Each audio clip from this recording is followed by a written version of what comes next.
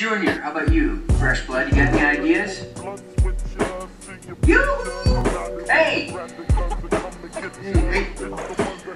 Hey! Sure.